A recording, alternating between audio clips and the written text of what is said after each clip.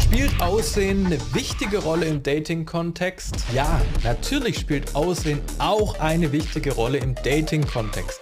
Insbesondere beim Online-Dating und wenn es darum geht, im Club einen One-Night-Stand mit nach Hause zu nehmen, dann würde ich sagen, spielt Aussehen eine riesige Rolle. Wenn es aber darum geht, einfach nur entspannt eine Frau anzusprechen und kennenzulernen, auf der Straße zum Beispiel oder im Freundeskreis, da wo sich ja auch tendenziell eigentlich die besten, tollsten Frauen aufhalten, dann würde ich sagen, spielt das Aussehen eher eine etwas untergeordnete Rolle und ganz, ganz viele andere Punkte sind auch noch relevant. Was ist deine Meinung dazu? Schreib es mir in die Kommentare und folge mir für mehr Dating-Tipps.